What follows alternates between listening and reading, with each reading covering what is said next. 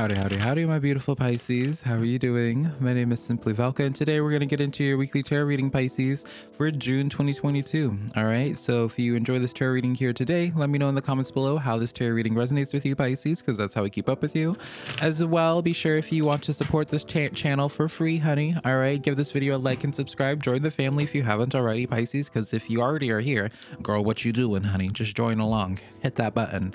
All right, so let's just jump right into your tarot reading here today, Pisces. Pisces, be sure to check out your Sun, Moon, Rising, and Venus sign. That's how you make YouTube general tarot readings resonate with you the most, is by catering the energy to your chart, Pisces. All right. So let's just get right into your weekly tarot reading here today, Pisces. Let's see what's going on, what's good, what's popping with you, honey. All right. Alrighty, back of the deck here is the strength card coming in here for you. Who Pisces, Pisces, Pisces, my darlings, my darlings. Y'all have been going through it here. I really want to firstly just let y'all know and acknowledge Pisces, just the hardships that you have been going through here. I feel like you guys have been going through some type of internal battle Pisces, like I feel like the things that you've been having to process, the things that you've been having to take on on your own, like no one around you actually knows about. Like I feel like people around you would be greatly surprised if they were to truly find out like the feelings that you were having it's like you're going through a silent battle, a silent war on your own, darling. All right, Pisces. And so I just want to let you know that there's someone out here, honey, even if it's through the screen, darling. All right, that I celebrate you and I'm rooting you on, darling. All right, even if no one else knows about what's going on with you. All right, keep your head up because I do see positivity coming in here for you. All right. Well, I know right now, Pisces, I, keep, I get this strong sense of where you are feeling extremely tired here. All right, you have the Fool card, Hierophant, as well as the Ten of Wands coming in here. It's like for you, Pisces, you just dealt with so many hardships with situations that you've been wanting to commit to. It's like for you, Pisces, you've tried to make relationships work out, romantic, darling, family, friends. All right, but there's always complications, right? You try to make you try to make jobs work out. You try to make anything work out for the long term and it feels like everything is just is not working out for you in that way. It feels like the moment you start putting your roots somewhere the moment you start getting comfortable and start opening up to situations then it's like the rug has been swept from under you once again with that ten of wands. It's like burden the uh, burdens pop back up seemingly out of nowhere for you. What i want to be telling you right now pisces is like right now you're at this place of where i acknowledge that you just want want to give up, right? You want to give up. You want to give up on this idea of love, which just is not like you, Pisces. I mean, come on, honey. All right. My Pisces, they are my hopeless romantics here. All right. But what I want to be telling you with that fool's journey coming in here for you, that represents a new beginning. All right. And you're not starting a new chapter, you're starting a whole new storyline. Something has changed with what has recently happened with you, Pisces. It's like you finally, you went over, you went through the last um, disappointment, the last pain, right? Tens represent closures to cycles here. And so with this Hierophant coming in here, this was in the reverse for you, Pisces. It's like the cycle of where anything that you try to commit to for long term is coming to an end now. All right, because of that fool. The tens representing closures to the cycle and the fool's journey being associated with the number zero Pisces. All right, it kind of the story tells itself all right? You you're ending the storyline of where it's like taking on all these burdens where you're ending the storyline of like the constant burdens when it comes to putting your roots somewhere. Things are different for you now pisces. Things are different for you. So let's start expounding on this. Two of swords here. Page of pentacles with the nine of wands stepping forward here for you. I get this sense for you pisces and then what's in the back of the deck here? Nine of cups So this is pretty positive here, Pisces, all right? Nine of Cups, by definition, represents a wish being granted for you. But also, what I want to be pointing out to you here, Pisces, is that while I don't see you getting any into anything quite yet where you're going to put your roots into, I mean, all right, I got to be transparent in that way. But I feel like you're going to get into like a situation, a commitment, like you're going to get into something, Pisces, that makes you feel good all right that will that will carry you over until you're later in your path to something that's more long term all right so in terms of relationships do i see you getting into a thriving like loving relationship yes do i see it lasting for the rest of your life i mean no All right. Do I see you getting a new job, a new way of making money? Yes. Do I see this job, this new way of making money being the thing that makes you money for the rest of your life? No. All right. That's just me being very straight up here, Pisces. But you need to go down your path a little bit more. There's a little bit more on your journey that you need to develop here before you start the next chapter or the next phase when it comes to that whatever it is that we're tapping into for you all right you got you have to make a little bit more progression until you put your roots in somewhere you're extremely close all right you're extremely close in the sense that you're not going to deal with another really bad situation, like a really like outrightly toxic situation that I've seen some of you Pisces get into. All right, but you are going to get into a situation that get, feeds you hope for the for the future because what it is, what is coming for you here, Pisces, is something extremely solid. Eight, as well as the Ace of Pentacles coming in here for you, as well as the Queen of Swords. You are going to get to that positivity that you're wanting. You're going to be able to put your roots into somewhere, Pisces. Back of the deck is literally the card of roots here, honey. If I can get the setup here set up, right? This is literally like the uh, like later down the path, your path, Pisces.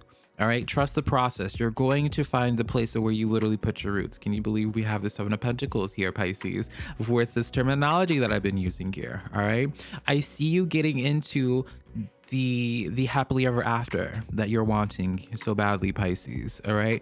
And i know right now as you're receiving this message pisces you're in this place of being like yeah velca like whatever honey. Like i've heard this before all right? You don't want to fall for it again. You don't want to put get your hopes up here darling all right? And you know you're that's your choice darling all right? I'll, all i will say on that is remember that our thoughts and everything is energy that we're doing. So you want to check your mindset with that pisces. But where i see your path really going here pisces is that is a place of longevity.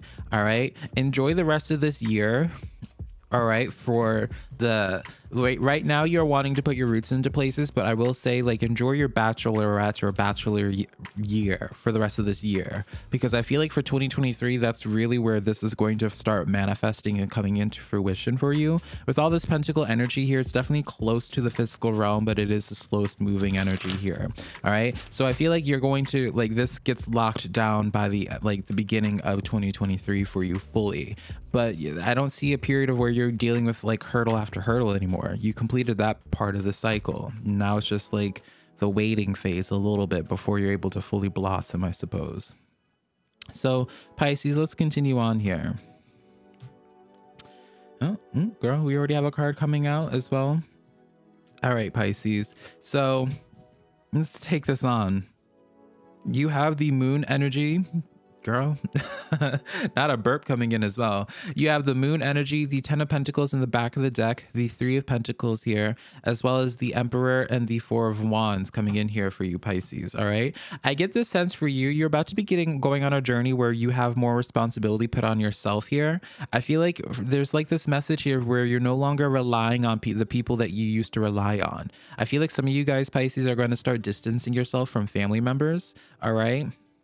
Or distancing yourself from situations that have supported you in a logistic way in the name of independence. That's what I feel like is going on here. It's like you're about to leave the nest, your safety's net here, in the name of uh, going on further out on your path here. I see for some of you uh, Pisces, you're going to be leaving your living situation, going into a new town, a new state, a new city.